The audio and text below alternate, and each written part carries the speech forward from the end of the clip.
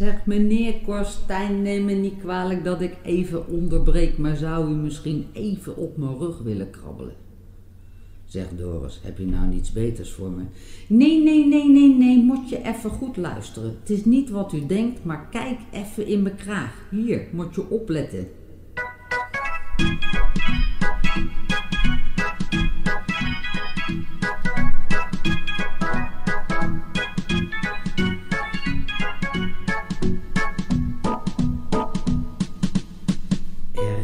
Twee motten in mijn oude jas.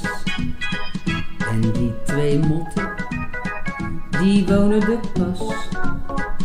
Je raakt gewoon weg van je stuk als je het ziet, dat geluk. Hij vreet mijn hele jas kapot, alleen voor haar die dot van een mot.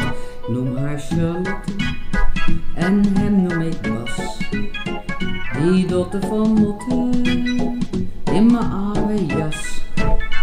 Ik voelde me eerst een beetje belaagd. Ik dacht, het is net of er wat er me knaagt. En toen kreeg ik die gaten in de gaten. Ik dacht nog even, hoe heb ik het nou? Maar toen begreep ik het al gauw. Ik zag twee motten in die gaten zitten praten. Ik greep meteen naar de DDT, maar daar verwoest je zo'n huwelijk mee en besloot meteen, ik zal dat echtpaar daar maar laten.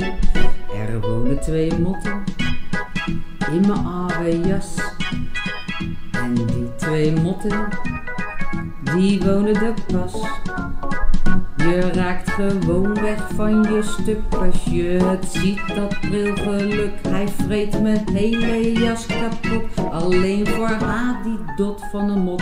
Ik noem haar Charlotte en hem noem ik Bas. Die dotten van motten in mijn oude jas. Ik ben een geboren eenzaam mens, maar het was mijn eigen wijze wens.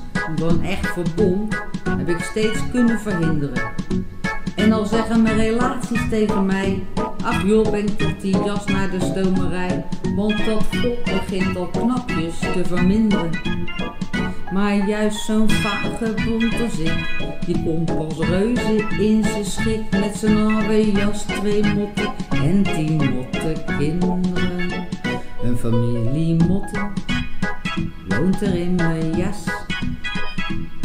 Ze daar als een kleuterklas. Nou zitten ze boven in mijn kraag en eten zich een volle maag. Ze vreten mijn hele jas kapot, omdat een mot toch leven mot. Die lieve Charlotte en mottige Bas. Met een dotte van motten wonen in mijn jas.